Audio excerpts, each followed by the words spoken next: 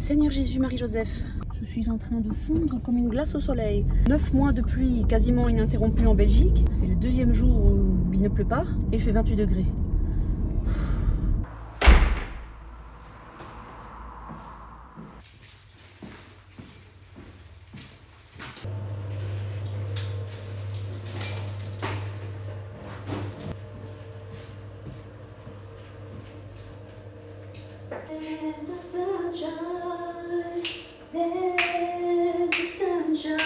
Bonjour mes et bienvenue chez moi J'ai annoncé la nouvelle sur Instagram, ça y est, alors je me devais également de vous partager la bonne nouvelle par ici. Après un début d'année 2024 qui a été extrêmement compliqué, vous le savez peut-être ou peut-être pas, mais j'ai eu pas mal de problèmes de santé. Mon chat Pintou a eu des gros soucis de santé aussi, et malheureusement, mon papa euh, nous a quittés au mois de mars. Et euh, la petite cerise sur le gâteau, c'est que je suis en burn-out au boulot. Donc euh, après c'est moins compliqué, j'avais besoin d'une bonne nouvelle. Et ça faisait quelques mois avec le Crollet qu'on avait commencé sérieusement nos recherches pour une maison. Ça fait longtemps qu'on veut acheter, mais euh, la situation n'était pas propice, la stabilité euh, du travail, financière, voilà, on voulait que tout soit bien aligné. Et ça n'était pas le cas jusqu'à il y a peu. Donc maintenant on a enfin réussi à trouver ce qu'on voulait, trouver euh, dans la région qu'on voulait et on a eu un coup de cœur pour la maison dans laquelle je me trouve actuellement qui euh, est à refaire. À la base, on partait sur une idée de clé sur porte. Je mets des guillemets parce que rien n'est jamais vraiment totalement clé sur porte à mon idée, mais on voulait vraiment une maison où on n'allait pas faire de travaux, une maison où on pourrait rentrer immédiatement. Sauf que, euh, voilà, nous on habite Bruxelles, on voulait rester dans la région de Bruxelles, en Flandre, on va dire dans le Brabant flamand, mais vraiment juste à côté de Bruxelles quand même, pour le travail de mon mari, pour des questions de facilité, et aussi par envie parce qu'on aime cette région. Et honnêtement, euh, le marché immobilier est... Euh, assez euh, intense. Hein. Et du coup, on trouvait pas grand chose, soit qui nous plaisait, soit qui avait l'air correct, c'est-à-dire euh, rapport qualité-prix, ou alors qui restait sur le marché assez longtemps pour qu'on ait même le temps d'aller visiter. Parce que c'est la réalité du marché, en tout cas en ce moment. Une annonce est mise, deux jours après, la maison est vendue. Donc c'était un petit une aventure. Hein. Écoutez, je, 34 ans, on s'est lancé dans l'immobilier. Après 15 euh, ans de couple, 8 ans de mariage, un enfant, une expatriation et repatriation, on s'est dit, allez, maintenant la prochaine étape, c'est la maison. Donc, bienvenue. Nous sommes actuellement au rez-de-chaussée et je vais vous faire le tour du propriétaire. Un petit house tour en l'état. on est au rez-de-chaussée dans la pièce qui sera plus tard la cuisine. Ici, on est juste à côté du jardin parce que oui, mon critère number one, c'était d'avoir un jardin ou au moins un espace extérieur pour nous, pour notre petit garçon qui adore être dehors. Même s'il pleut 350 jours par an en Belgique, j'avais envie d'un jardin. Et là, nous avons été servis. Je vous le montre juste après. Mais ici, comme je vous disais, on est dans la future cuisine. Et ce que vous voyez derrière moi, ce sera la salle à manger. Et un peu plus loin, on aura le salon qui est côté rue. Ici, on est côté jardin. La particularité de cette maison, c'est que c'était un cabinet dentaire. Donc euh, là, c'était le bureau de la dentiste. Là-bas derrière, c'est une pièce qu'ils ont créée dans la grande pièce pour euh, faire une partie de leur cabinet. Et plus ou moins là où je me trouve, c'était le fauteuil de la dentiste. Au premier et deuxième étage vivait la fille de la dentiste, qui avait certainement euh, entre 30 et 40 ans, je ne sais rien, mais mon âge avec euh, des enfants, je crois, et son mari. La petite famille vivait au premier et deuxième étage. Donc au premier étage, on a une cuisine et on avait euh, salon, salle à manger, et dans les étages au-dessus, les chambres. Et ce qui, ce qui fait que nous, on doit retransformer tout ça en maison unifamiliale. On fait le tour ensemble? Allez, c'est parti. Nous voilà dans l'entrée. La porte est pas spécialement jolie, mais elle est pas non plus moche. J'aime beaucoup le fait que ce soit fumé, comme ça, ça laisse quand même passer la lumière. Comme vous l'entendez, on entend pas mal la circulation. On est sur une chaussée, donc c'est assez bruyant, mais c'est pas hyper dérangeant une fois qu'on est dans la maison. Alors là, on se retourne et on a, oui, déjà des affaires, parce que nous avons un grenier très bien aménagé et des endroits où stocker. J'ai amené les affaires de bébé, quoi. Vous voyez, des trucs dont j'ai pas besoin maintenant, euh, là où je suis. Comme ça, ça fait un petit peu de place chez moi. Vous avez déjà aperçu des magnifiques escaliers, voilà Quand on tourne tout de suite à droite, bon, le Crollet a déjà retiré toutes les portes, donc je ne pourrai plus vous montrer, mais il y avait une porte avec écrit euh, salle d'attente, étant donné que ici, dans cette pièce, se trouvait la salle d'attente de la dentiste. Et comme je vous le montrais, le mur là, tout ça, en fait, nous on l'appelle l'aquarium, parce que c'est vraiment un cube comme ça, un rectangle dans la pièce. Ce sont des murs qui ont été ajoutés pour vraiment faire des sections euh, pour le cabinet. Donc tout ceci, la vitre, le mur, tout ça va partir pour qu'on ait une salle à manger qui sera totalement ouverte. Et si tout va bien, nous allons également ouvrir et remplacer les escaliers pour pouvoir amener plus de luminosité. Ensuite, on revient là où j'étais juste avant, donc la future cuisine, ce qui était le cabinet en soi. Voilà la fameuse pièce rajoutée. Comme vous pouvez le voir, mon crollet s'en est déjà donné à cœur joie. On a déjà commencé à arracher pas mal de trucs. Et bien sûr, comme c'est la première fois que nous allons voir un jardin, je me suis déjà permise d'acheter un parasol et des transats. Et oui. voilà, elle a laissé des, petits vestiges hein, de son cabinet. Tout ça, bien évidemment, devra partir. Et ici derrière, nous avons une pièce un peu cachée qui était euh, la toilette du côté dentiste avec un petit lavabo là-bas derrière tout ça, normalement, sera transformé en garde-manger. Et j'ai oublié de vous montrer, j'y retourne.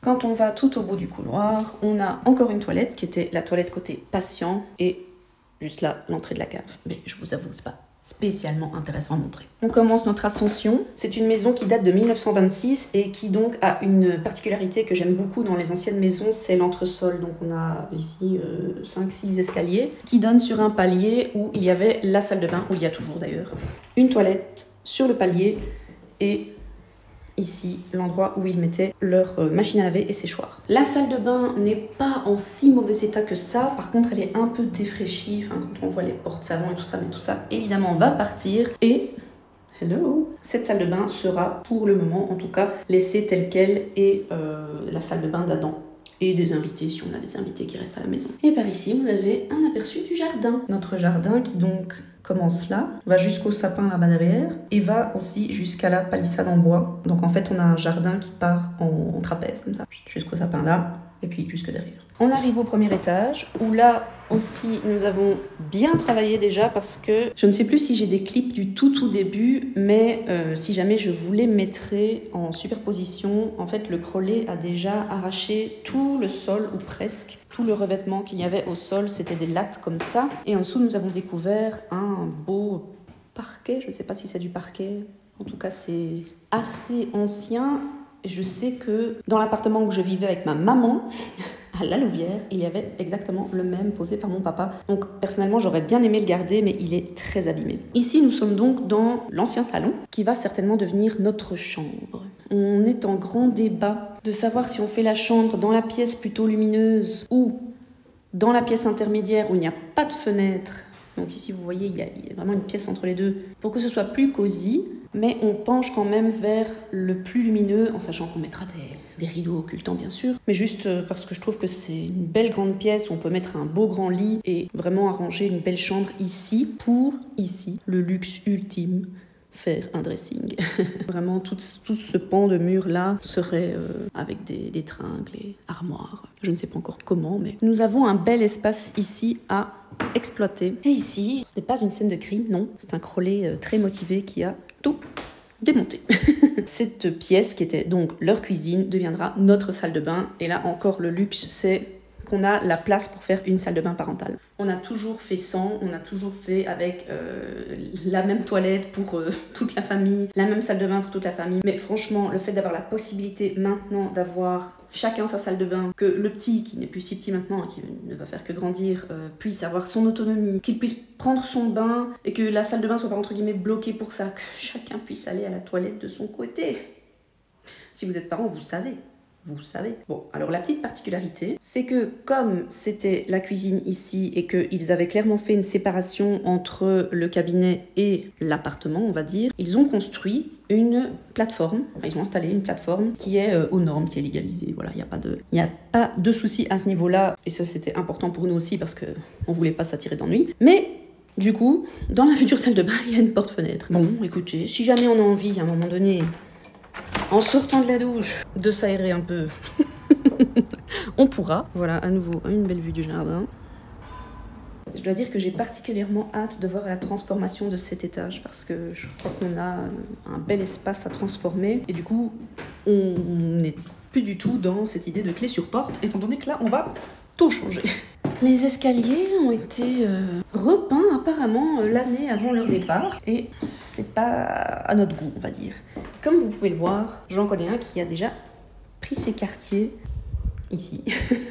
Évidemment, Adam, ayant vu cette chambre, voudrait s'installer ici à cause du panda, ou grâce au panda. On a bien évidemment dû lui dire que nous allions changer tout ça. Donc la question maintenant, c'est de savoir est-ce qu'il va vouloir cette petite pièce qui fait quand même 14 ou 16 mètres carrés, je sais plus, ou la grande pièce ici qui fait 22 mètres carrés. L'enfer, c'est de voir un magnifique parquet qui est rempli de, couches de peinture et de je ne sais quoi. Je suppose que les précédentes personnes n'avaient pas spécialement le choix. Voilà la dernière chambre qui est une grande chambre. Vraiment, euh, c'est un luxe. Et oui, la porte se ferme toute seule c'est, euh, je suppose, mon nouveau fantôme. Hein. Chaque maison son fantôme. Ici encore, on a des placards intégrés, parce que oui, je suppose que vous les avez vus en dessous, mais il y avait aussi des placards intégrés. Ceux-ci ont l'air un peu plus récents que ceux d'en bas. Ceux d'en bas sont d'origine, je pense. Ceux-là, on voit vraiment que c'est du bricolage euh, des anciens locataires euh, slash propriétaires. On verra bien ce qu'on fait avec ça, parce que l'idée n'est pas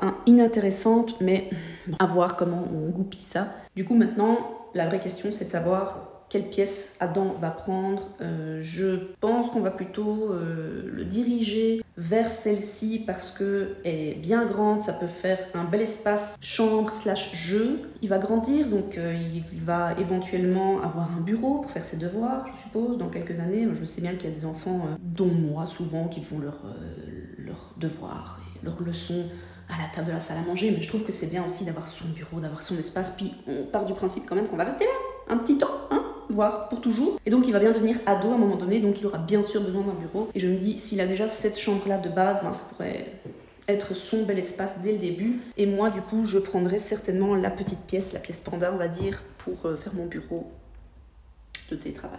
Maintenant, je vais vous emmener dans mon endroit préféré de la maison, le jardin. Peut-être que je dis ça parce que la maison n'est pas encore faite et que le jardin, ben, on, peut, on peut déjà aller dedans. Vous allez certainement entendre des oiseaux, des avions et la grue parce qu'il y a des travaux à côté. Il faut savoir qu'on a acheté euh, pas très loin de Zaventem. Zaventem, c'est l'aéroport de Bruxelles. Et euh, oui, on entend les avions, mais d'un côté en Belgique, je sais pas s'il y a beaucoup d'endroits où on n'entend pas les avions. Donc euh, moi j'adore voir les avions passer, j'adore les prendre en photo, j'adore les filmer, donc ça ne me dérange pas. Et là où on vit actuellement, on a aussi les avions qui passent au-dessus de la maison, enfin de l'appart, et ça ne nous dérange pas. Mais je vous préviens juste parce que maintenant on est dans le jardin qui est je pense, une de mes parties préférées de la maison. En tout cas, ce qui nous a fait vraiment craquer sur cette maison. Pas que, bien sûr, mais il faut savoir qu'avoir un jardin à Bruxelles ou dans les environs vraiment très proches de Bruxelles, c'est de, un, c'est pas garanti, et de deux, euh, souvent ils sont rikiki. Rikiki.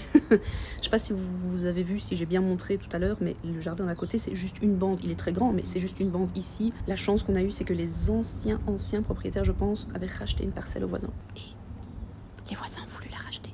Mais l'ancienne propriétaire, donc celle juste avant nous, mais on dira non. Ça reste entre nous. mais donc, je vais retourner la caméra pour que vous puissiez faire un petit tour avec moi dans mon jardin. Nous avons une terrasse de taille assez euh, correcte, je trouve. Hein. On n'en a pas vraiment besoin étant donné la grandeur du jardin. Vous allez voir qu'il y a des balles et aussi une niche car les anciennes personnes avaient un chien ou plusieurs, j'en sais rien. Et là, on est sur mon petit projet du moment, étant donné que je vais essayer de récupérer cette table de jardin qui est en état euh, potable mais pas incroyable. Donc je vais essayer de poncer, reponcer, je l'ai déjà poncé. À la base, elle était plutôt Je vais essayer de reponcer et arranger les, petits, les petits coups et les petits morceaux un peu nuls, petits morceaux un peu pourris qu'il y avait. On est donc sur un jardin qui fait plus ou moins trois arts et qui comporte énormément de, parties. Les anciens locataires, on va dire le, monsieur, et je pense était féru de, jardinage, il avait un potager, il avait des poules. Donc ici, on a vraiment euh, une partie sauvage parce que avec mon sang et ma sueur et l'aide de mon beau-père, je me suis attaquée à l'herbe qui était aussi grande qu'Adam donc plus d'un mètre. Et euh, on n'a pas encore fait le côté là, parce que ce sera euh, certainement pour l'an prochain, pour le potager justement. Ici on a une glycine, il y a des immeubles en construction à côté, donc euh, c'est pas, le plus peaceful, on n'est pas à la campagne. Hein. On a des belles surprises aussi, on a des roses, on a des framboises là-bas, on a des fraises aussi là-bas en dessous. Je vois qu'il y a une belle framboise là. Et hey, c'est trop chouette en fait parce qu'on n'avait pas conscience euh, de l'étendue. Euh, je parle. On n'avait pas conscience de l'étendue euh, du jardin, on va dire, et de, de, tous les petits trésors qu'on allait trouver. Donc ici, par exemple, je ne savais pas qu'il y avait un fraisier. Alors bien sûr, il va falloir nettoyer tout ça et certainement refaire la pelouse au fur et à mesure du temps. Voilà, mais bon, on a quand même une très belle base pour les années à venir et on est hyper content. Ici, on pense que c'était le coin des poules canards, peut-être plus canards. Il y a une pièce d'eau là. Je sais pas si vous la voyez parce qu'elle est complètement recouverte de vases. Écoutez, le crollet veut la garder, moi non. Ici, on a un prunier. Tous les arbres sont malades, je pense, de ce qu'on a vu. Là, on a un, je crois que c'est pommier, poirier. Là, c'est un noisetier qui est. voilà, gigantesque. Et là, un cerisier, avec de ce qu'on en aperçoit euh, des cerises du Nord. Là, derrière, encore des framboises. Autant vous dire que les animaux ici sont au paradis. Et là, je pensais que c'était encore une niche pour chiens, mais non, apparemment, c'est une maisonnette pour enfants. Le monsieur qui habitait ici avant, donc le, beau-fils, on va dire, de la dentiste, il était assez euh, bricoleur, hein, je pense, et assez euh, habile de ses mains. Cependant, je trouve que la maisonnette est un peu glauque. Donc, on va peut-être la repeindre, j'en sais rien. Je trouve que c'est sympa, hein. notre fils a 5 ans, il pourrait vraiment s'amuser là-dedans, mais genre, il n'y a, a, pas de fenêtre, il fait noir là-dedans. On dirait vraiment une niche, on est d'accord.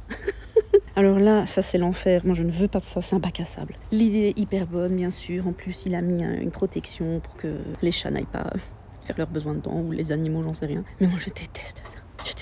Je n'en peux plus. Là, on a nos sacs d'herbe que, selon toute vraisemblance, on a oublié de vider la dernière fois. Ici, nous avons. Oh, j'arrive même pas à la montrer en entier, dis donc. Nous avons une pergola qui sera très chouette pour manger nos barbecues les quelques jours par an où il fera bon. Et vous avez vu là aussi qu'il y avait une ancienne serre, tout un potager encore. Et là, les derniers abris, les derniers gens, il y en a tellement dans cette maison. Des abris couverts et est-ce qu'on peut vraiment appeler ça un abri de jardin quand c'est grand comme ça? On faire des soirées ici, hein Tada Bon, je crois que c'était un house tour un peu chaotique, mais euh, cette fois-ci j'ai pris la, gimbal, le, stabilisateur pour téléphone, parce que j'aime beaucoup mon appareil photo avec lequel je filme mes vidéos, mais il n'a absolument pas de stabilisateur. Donc pour tout vous dire, j'avais déjà filmé un house tour. Vous allez vomir c'était pas possible. Donc j'espère qu'au moins ici les images seront correctes. En plus il fait beau aujourd'hui donc c'est quand même un petit peu plus agréable. Je suis hyper emballée par ce projet de rénovation de maison. Je pense pas l'avoir déjà dit mais il n'y a rien à faire au niveau extérieur. On a un très bon PEB, on est PEB B, on a des panneaux solaires, on a une chaudière récente, on a un adoucisseur d'eau ce qui est vraiment pas du luxe ici à Bruxelles parce que l'eau est vraiment vraiment calcaire par ici. C'est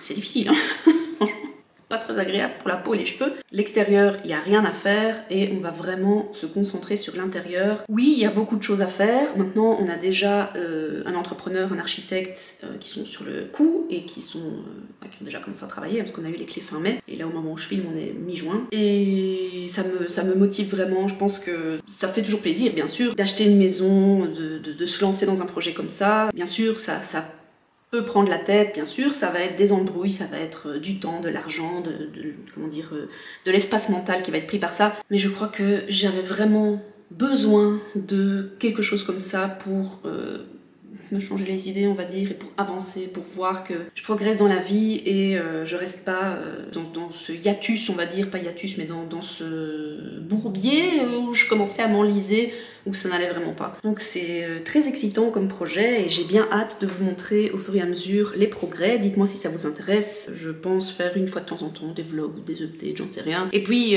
on croise les doigts que début 2025, je puisse vous montrer des hall déco et je sais pas moi, l'aménagement de mon bureau, j'en sais rien. Un bureau tour, pourquoi pas. en tout cas, j'espère que cette vidéo vous a plu et euh, n'hésitez pas à laisser un petit commentaire. Dites-moi si vous aussi vous êtes dans ce genre de projet, euh, rénovation d'appart, maison ou achat, j'en sais rien. Si vous êtes un peu dans le sujet immobilier aussi, dans votre vie privée ou pro, n'hésitez pas à me laisser un petit commentaire. Je vous dis à très bientôt. Gros bisous